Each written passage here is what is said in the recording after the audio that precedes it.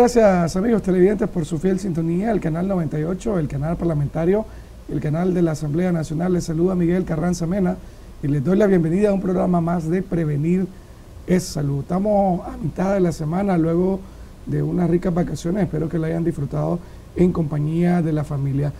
El día de hoy vamos a hablar sobre los cuidados que debemos de tener de nuestro sistema auditivo. Para ello hemos invitado al doctor Hugo Honskin, quien es eh, otorrino del Hospital de Referencia Nacional, Hospital Escuela Antonio Lenín Fonseca. Bienvenido, doctor, mucho gusto, un placer. Muchas gracias. Tenerlo nuevamente aquí en este programa para que usted nos dé toda su sabiduría respecto a nuestro sistema auditivo, que es el tema del día de hoy. Primero, doctor, díganos esa estructura, cómo está compuesto nuestro oído, cómo es la anatomía de nuestro oído para que entendamos luego cómo debemos cuidarlo y qué problemas podemos tener si en caso tenemos alguna enfermedad. Sí, eh, este, la, estructura, la anatomía del oído este, se divide en tres partes. Para simplificarlo, eh, tenemos que el oído se puede dividir oído externo, que comprende la oreja o el pabellón auricular, ¿verdad? Su conducto auditivo, que está dividido del oído medio, que es la parte que se comunica con la garganta y la nariz a través de, una, de un tubo que se llama trompa de Eustaquio. Eh, y la tercera parte del, oído es el oído interno, donde se encuentran los receptores de la audición y del equilibrio. La alteración de cualquiera de estas estructuras puede provocar este, eh, alteraciones de la audición.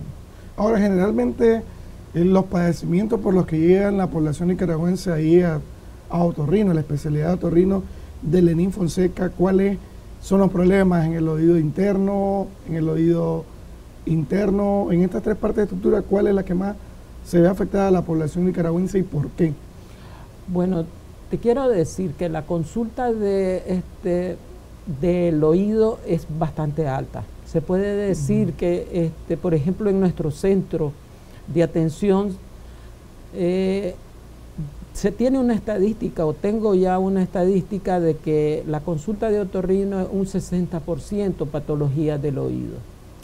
Ya estas pueden ser, este, pueden ser otitis externa, puede ser una malformación del pabellón auricular o de la oreja, o, este, o una infección propiamente del, del, pabellón auricular que se llama fístula preauricular.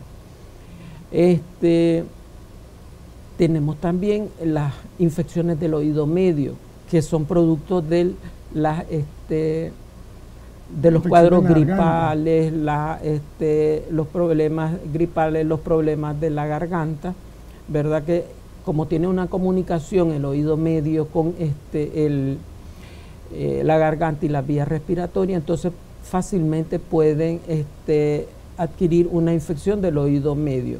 Esto más afecta más a los niños por la estructura, ¿verdad?, de su oído medio. pequeño, correcto. y tiene su característica, que es un poco más este, propenso a padecer el niño de este, infecciones del oído medio. El oído interno, el oído interno eh, lo padece más el paciente ya adulto. Paciente de pasando de los 40 años ya tiene problemas de, ya sea o de audición o puede ser problemas del equilibrio. Ahora, usted me decía antes de entrar de lleno al programa, doctor, que las mujeres, o mejor dicho, los niños que nacieron eh, de madres que tuvieron problemas como el dengue o otras enfermedades patológicas durante el embarazo, tienen que prestársele mayor atención porque pueden, pueden venir con problemas auditivos por el simple hecho de que la mamá estuvo enferma de ciertos padecimientos. Sí, es decir, este, el, control, el control del embarazo es muy importante para este, el cuidado de la, de la audición. Pues, eh, se, este, incluye ahí la audición, porque es decir, un embarazo patológico, ¿verdad? Un embarazo que no sea normal, se llama aquel que la persona, pues la la mujer sufrió algún tipo de infección durante su embarazo, sobre todo este, son propensos aquellos que sufren infecciones virales. Tenemos mm. el dengue, que es el, este, el pan de cada día aquí en nuestra población por ser un país tropical. Este, tenemos los virus de las infecciones respiratorias, ¿verdad? Este, la viruela, el sarampión, este, la rubiola, todas esas infecciones virales, este, incluso, este, por ejemplo, el, el VIH, ¿verdad? Este, eh, tenemos infecciones también, este, no solo virales, sino también este, bacterianas. También, por ejemplo, si la, la, la, mujer tuvo una infección o eh, una infección durante su embarazo, una infección este, de vía urinaria, por decirte mm. algo. Entonces tuvo que tomar antibióticos y esos antibióticos pueden ser que sean ototóxicos, es decir, pueden afectar la audición fetal Del, niño. Entre ellos tenemos otra cosa también que afecta es que no sean compatibles la sangre, ¿verdad? Ah. Este, eh, de la madre con, el hijo y eso también puede afectar. Este, anemia que tenga, por ejemplo, durante el embarazo. Tenemos también de que, ¿cómo se llama? Eh, otro genético, si en la familia, por ejemplo, hay, hay familias de que tienen eh, alguna deformidad en su oreja y eso lo hereda este, el, resto de la, de la, generación. Entonces, eh, eso, eso viene a provocar, ¿verdad?, alguna alteración en la, en la audición de los niños. ¿Qué quiere decir esto? Esto quiere decir de que si el embarazo estuvo expuesto a todas esas patologías que más o menos he mencionado, significa de que hay que hacerle un tamizaje al mm. niño, este, al, bebé, en los primeros 29 días de, recién nacido. Es decir, si el niño nació con bajo peso al nacer, este, que haya sido, que haya tenido dificultad para respirar, hay una, mm. hay una tabla que se llama la tabla de Apgar, ¿ves? Que se miden varios parámetros y si tiene un bajo Apgar al nacer, entonces estos niños muchas veces afecta, puede ser que sufra su, su audición. Si el bebé tuvo que meterse a una incubadora, si tuvo que meterle, ponerle ventilación asistida, ¿verdad? A este bebé, entonces son niños de que una vez que salgan de su problema hay que revisarle su audición. Incluso si fue prematuro, me imagino. Prematuro, con bajo peso al nacer, etcétera. Decía algo muy importante, doctor, por ejemplo, la compatibilidad de la sangre. Sí. Ah, yo conozco muchos casos precisamente de personas que, vamos a poner el dicho de que entre primos y, y parientes el amor es más ardiente. Sí. Que se relacionan pues entre primos lejanos, y conozco pues de casos de que los niños, producto de, ese, de esa relación entre primos y parientes, nacen con ese problema de audición, son sordos. Sí, porque es decir, los niños lo que eh, cuando hay esa incompatibilidad de, este, sanguínea, este, este, se ponen amarillos los recién nacidos. Y esto significa que se aumenta, hay unos altos niveles de bilirrubina y esta bilirrubina es ototóxica para, los, ah. para los niños y entonces esto les puede afectar este, su audición. Aquí hay algo muy importante, por eso cuando el médico manda a solear al niño es importante cumplir con esa hora de sol. Correcto. Eh, eh, aquí tal vez quizás algunas personas no, no, no, sepan de la importancia de, que los niños tomen el sol cuando son recién nacidos.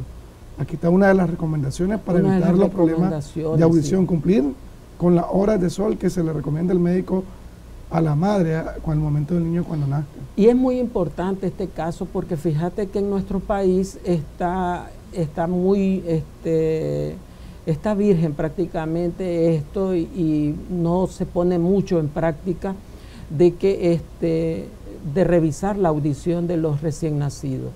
¿Ves?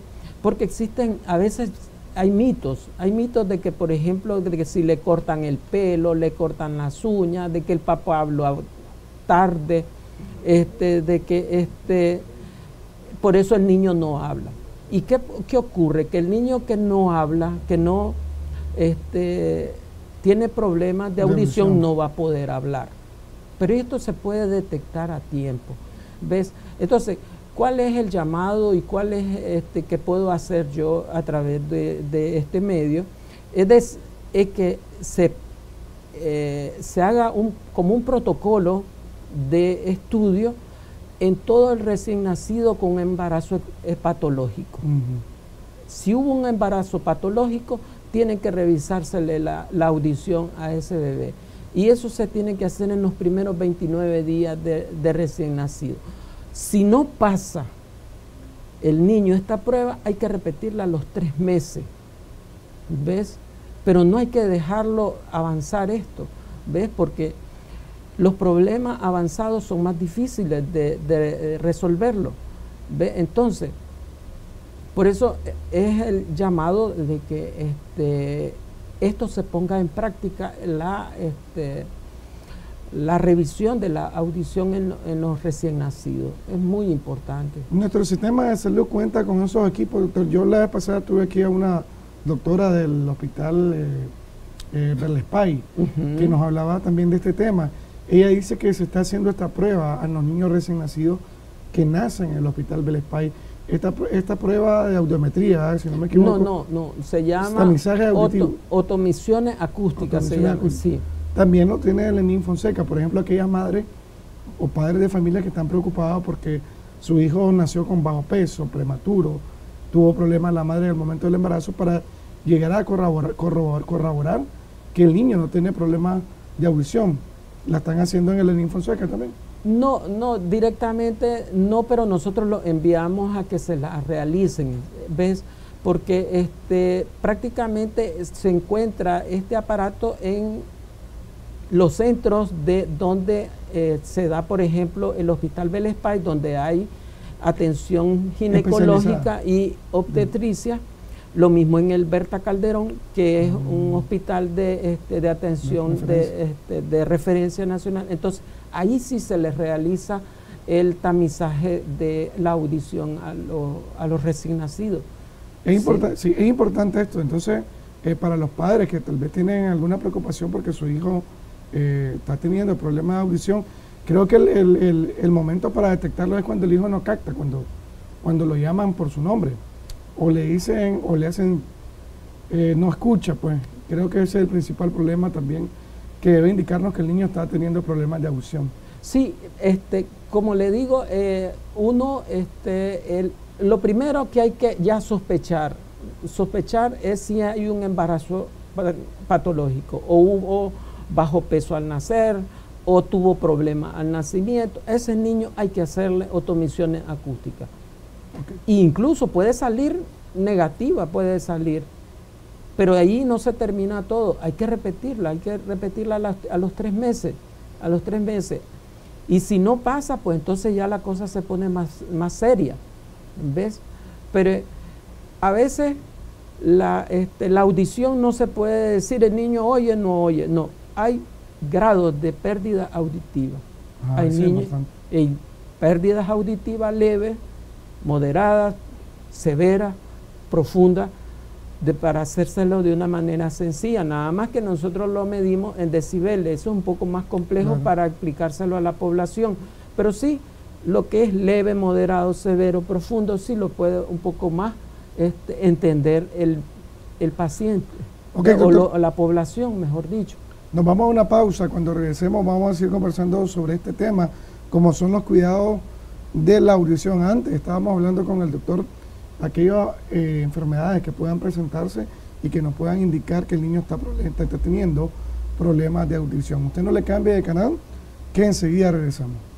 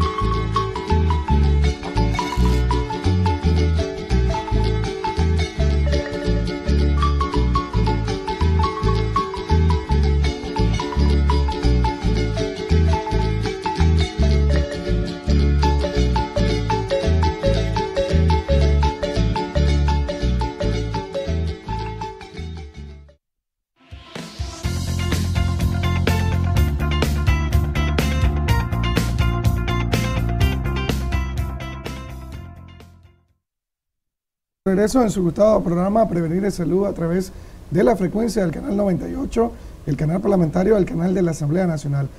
Hoy estamos hablando sobre los cuidados de la audición y tenemos como invitado al doctor Hugo Homskin, quien es eh, otorrino del Hospital de Referencia Nacional, Hospital Escuela Antonio Lenín Fonseca. El doctor ya nos decía en la primera parte del programa que los padres de familia deben tener o deben prestar mayor importancia mayor atención a aquellos niños, por ejemplo, que nacieron prematuros, que nacieron con bajo peso, que su madre durante el embarazo tuvo alguna enfermedad viral como el dengue, el zika, el chikungunya, se le debe prestar atención para realizar pruebas de audición, porque estos niños pueden tener algún problema de audición o alguna sordera leve o un poquito moderada.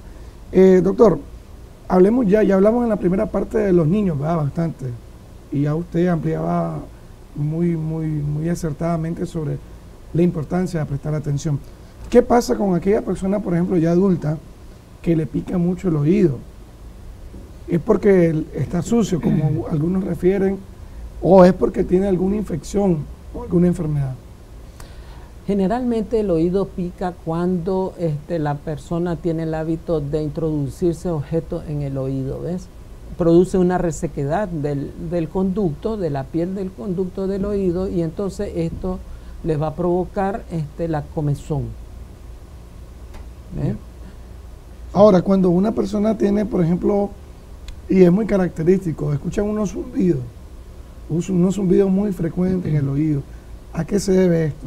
Bueno, los ruidos en los oídos es un tema bastante amplio, ¿verdad? Este, no, no es la causa del ruido en el oído puede es múltiple, ¿ves? Bien, este, bien amplio, las causas del, ruido en el oído. El, ruido en el oído puede venir, venir de enfermedades crónicas. Generalmente se presenta ya en, en personas mayores de 30 años.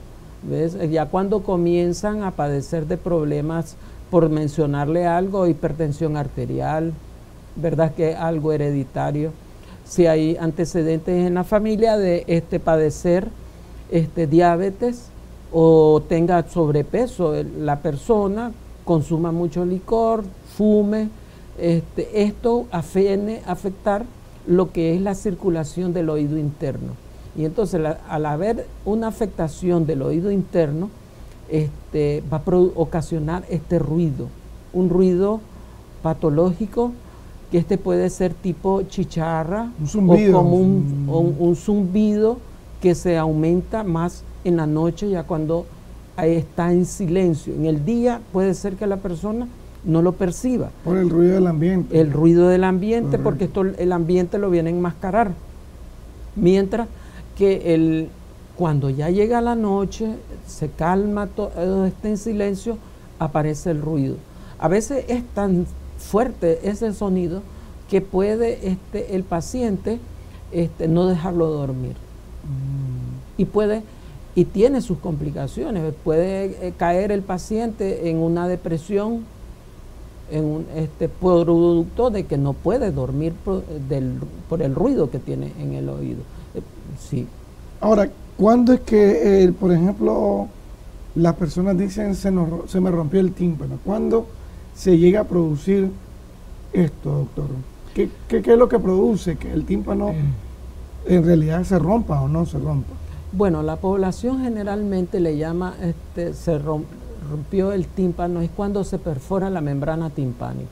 La membrana timpánica se rompe o se perfora, puede ser producto de una manipulación. ¿Ves? Se introdujo algún hisopo profundo y se y se traumatizó el, el, este, el, o se le introdujo algún insecto, un insecto en la membrana timpánica y esto vino y lo, lo rompió, ¿verdad? Rompió esa membrana timpánica, que es eso lo que vemos nosotros. Es como una telilla. Eh, el tímpano es una telilla. Es una telilla, sí, este, delgada, que, este, que fácilmente se puede romper, ¿ves? Es muy delgada como lo puede apreciar, es bastante delgada este, la, membrana timpánica. Puede ser también secundario de una infección gripal, por ejemplo, una gripe o una sinusitis que se complicó con una otitis media, o puede ser, por ejemplo, un barotrauma, una persona que, este, que viajó por avión. Y entonces este, es el cambio de presión atmosférico, le, no lo compensó el, el oído y entonces el paciente sufre un barotrauma y se le puede perforar su membrana timpánica, un dolor intenso. Fíjese que eso es importante, doctor, porque por ejemplo, una persona que no ha viajado en avión, no sabe pues del, del, ruido de las turbinas, de la presión del aire, y, se monta en un avión sin saber qué le puede producir, qué puede hacer para evitar ese tipo de, de, de rompimiento del tímpano. Sin, yo lo que le sugiero, por ejemplo, la persona de, a, todas las, a todas las personas, no solo a aquel, aquel este, que por primera vez se va a montar en un avión, sino que tiene que tener este, sanas sus vías respiratorias. Ah, recomendable. Es recomendable. De las recomendaciones. Sí, de las recomendaciones, tiene que tener sano su, este, eh, sus vías respiratorias sanas. Porque todos, generalmente, casi todos, este, una gran mayoría, pues se ha montado en avión y no le pasa nada, ¿verdad? Pero aquel que tiene un problema de la vía respiratoria sí va propenso a padecer de un barotrauma, es decir, un dolor en el oído intenso, ¿verdad? Que puede hasta perforarse. Ya. ya hablando, doctor, de la, como el tema de hoy son los cuidados de la audición, hablemos también de, la, de las recomendaciones. ¿Qué otras cosas debemos nosotros hacer? para cuidar nuestro sistema auditivo.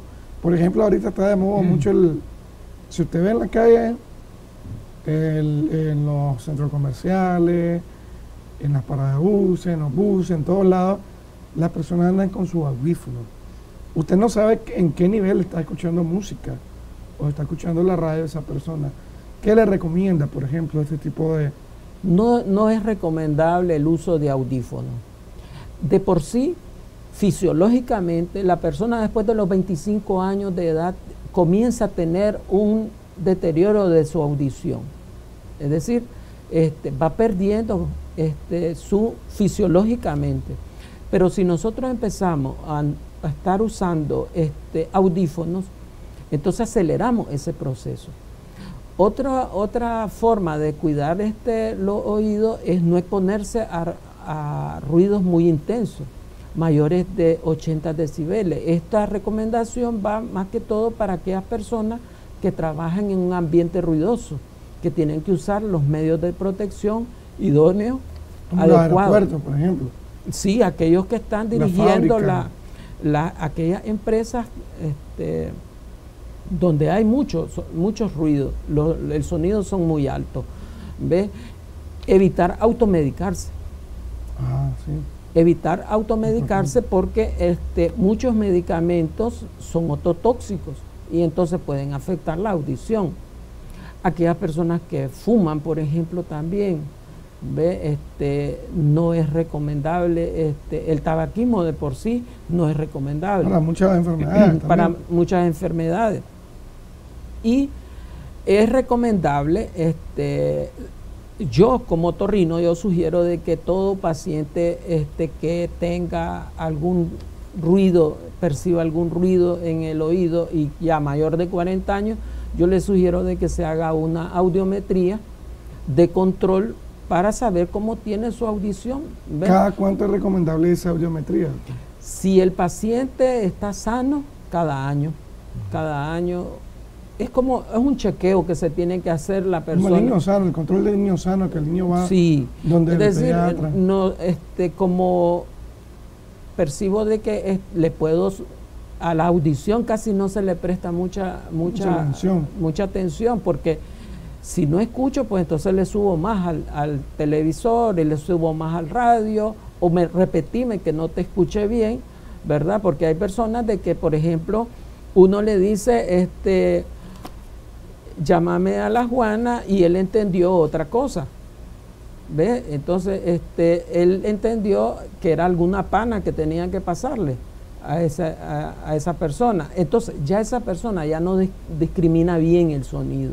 Es como dicen, escuchó las campanas, pero no sabe por dónde, por dónde es el, de dónde viene el sonido. Eso es muy importante lo que usted dice, doctor, porque quizás muchos no le ponemos atención al oído y son el principal órgano que nos dan el equilibrio. Porque, por ejemplo, ¿qué sucediera? Alguien que está escuchando muchos zumbidos o que eh, precisamente eh, está perdiendo el equilibrio por, por una enfermedad en el, en, el, en el oído. Pasa, por ejemplo, en un cauce. Pierde el equilibrio. ¿Qué, ¿Qué pasa? Hay un efecto secundario porque está en un lugar peligroso donde tiene que tener el equilibrio. Y cae, peor si hay una correntada, imagínense. Entonces aquí es la importancia de tener nuestros oídos y nuestro sistema auditivo sano. Sí, porque es decir, mire, le voy a poner un, este, un, ejemplo. Por ejemplo, este, tránsito, por ejemplo. Tránsito nos, nos exige un examen de la visión, ¿ves? Pero no exige un examen de la audición. No sabemos si anda un, sordo este, manejando. Mm. ¿Ve? Entonces eso es un riesgo. Es decir, para mí, yo, yo como torrino, yo sugiero de que este, debería de incluirse en el, en el examen, ¿verdad?, de, los conductores, una, una, audiometría, no solo una... Este, examen de la, vista. de la vista, sino un examen también de la audición, porque este, a veces no, no le ponemos mucha importancia a la audición. ¿sí? Ok, doctor. Le agradecemos por su valioso tiempo y para por hablar de este tema tan importante. Y gracias por invitarnos. Gracias a usted por asistir. Gracias también a ustedes, amigos televidentes, por su fiel sintonía. Le esperamos el día de mañana a esta misma hora, a 3 de la tarde, a 3 y media, para seguir conversando sobre temas de salud. Recuerde que prevenir también es salud.